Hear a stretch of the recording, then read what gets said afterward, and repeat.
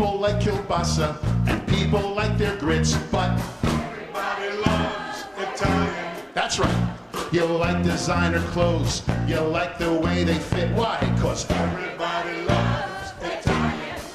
now French gourmet cuisine, it might be very keen, but Everybody loves Italian. uh, when my mama made her sauce, it was the best you'd ever seen. Cause Everybody loves Italian joy. It's the values we employ.